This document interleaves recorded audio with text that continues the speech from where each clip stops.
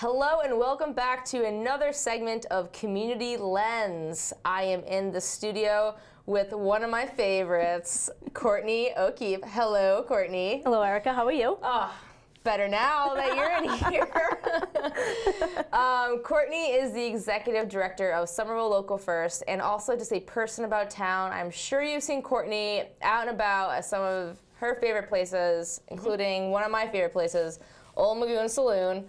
And. Daddy Jones Bar, Absolutely. equally equal love exchange across the street.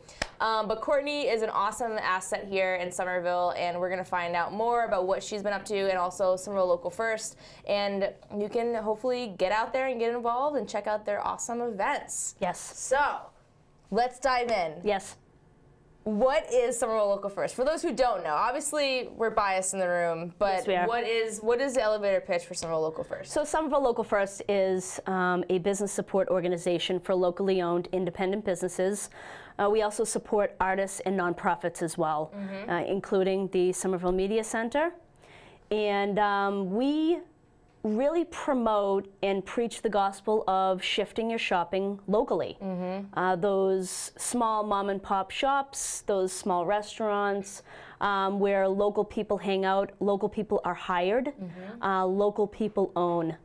And uh, the community around loving local places is so prominent in the mm-hmm. city of Somerville. And I, you know, that's really a reason why so many businesses want to open up here. Um, businesses want to be here is because it's just in our DNA to mm -hmm. love our locally owned places. Yeah, super supportive environment. Mm -hmm. I can definitely um, test to that. Um, but how many members are part of Somerville Local First? So Somerville Local First collectively has close to 100 members. Wow. Uh, we have a lot of artists. We have businesses, restaurants.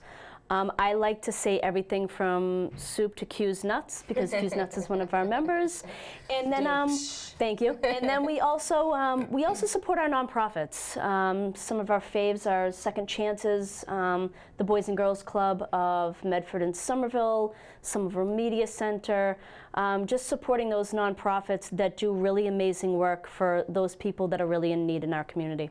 Awesome. And what are some of the types of like programs or signature events that SLF uh, puts on? Um, this year, we've really expanded our programming after um, establishing a really wonderful relationship with Workbar Union.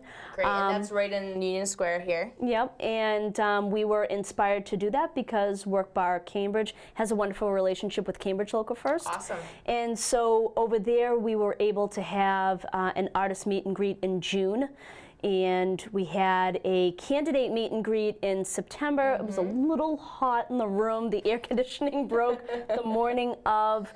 Um, that event was Oof. catered by Daddy Jones Bar and Old Magoun Saloon and Wicked Wines. But the content itself was. It was. was really we great. were at capacity. I will say that. Good no, without admitting, we were probably a little oh, over oh. capacity. I hope the, fire, fire people are watching. Love the fire department, but um, I think that that really established a need in the city of Somerville. I know yesterday you guys had the mayoral debate, so right. things are really kind of hopping around yeah. here, and, and those those types of events are, are, a way that Somerville Local First can kind of keep people informed and yeah. do it on our own terms and creating the spaces to invite the absolutely. community to engage in like dialogue or just awareness. Absolutely, yeah. and we had every single candidate for every single um, contested race in the city except for one, and I'm really proud of that. I'm really proud that our candidates came together. And, and, and, kudos to the candidates who all came out absolutely. For that, for that really important event. You know, that event was, the focus was on the voters and not necessarily right. the candidates. We didn't do a question and answer. We didn't do a debate. It was nothing. It was really just some FaceTime. Just some FaceTime with yeah. them. And then uh, going forward, we have um, one of our former members who is going to do a social media class at Workbar we have one of our board members, Andy Pyman, that's going to be doing a awesome. WordPress class through the Somerville Media Center. In early December. Information's on the, on the screen. Absolutely. And um, at the end of the year, I think we'll do an end of the year um, kind of closing out.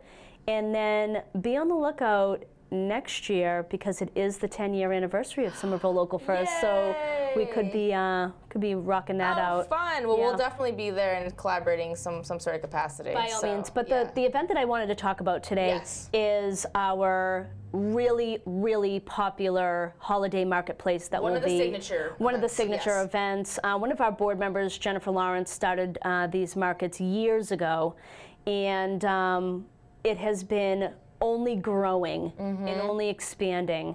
And it's one of those things that that we do to really showcase our artists, makers, and shakers here in um, here in Somerville Right. and and a little bit beyond too. Um, it's going to be on Sunday, November 26th, from 11 o'clock until 5 o'clock p.m. at another one of our favorite nonprofits, the Arts at the Armory.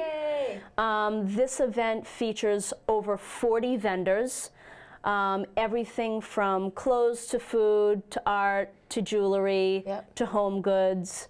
Uh, we really try to make the mix as eclectic as we possibly can. And our two market coordinators, Heidi and Marta, um, really set up. Shout out to those folks. and uh, Let me tell you, they Yeah, make my job 10 times easier. it's a lot of work. yeah, yeah, it is. Um, but our our vendors absolutely um, love it.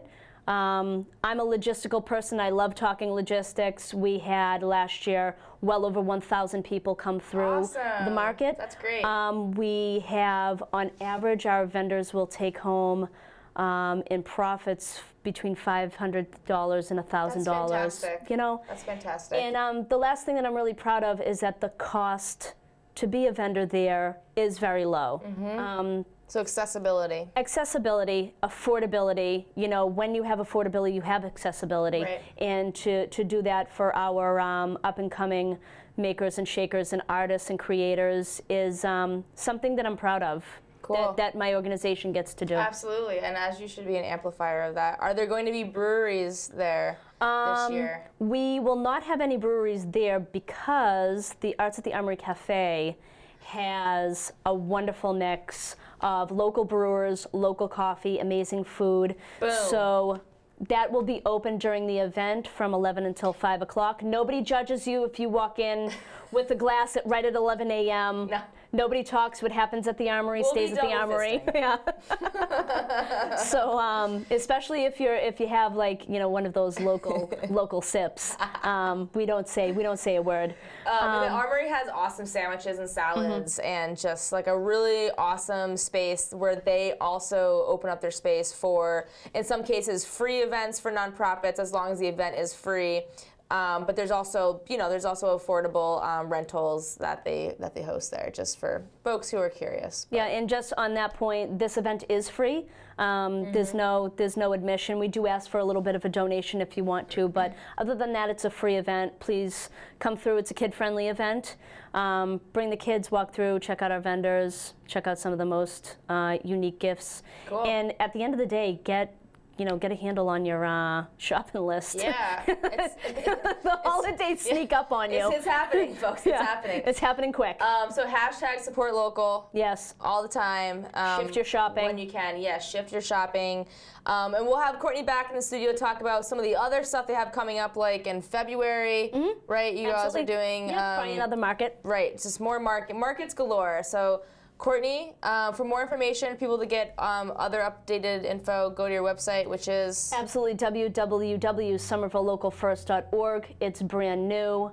Um, you can get in touch with me, Courtney, at somervillelocalfirst.org if you have any questions. If you're interested in becoming a vendor at a future market, we have the vendor application right on the website. And um, if you uh, have a local business and you have questions and you have needs, we help with everything from marketing and um, all the way to helping you through the, the permitting process. Cool. So, yeah, that's awesome. yeah, we're very excited. All right, on that note, high fives. Yeah. And uh, check them out. Uh, November 26th, Arts of the Armory, 11 to 5. 11 to 5. Be there, support local, let your neighbors know, and we'll see you soon.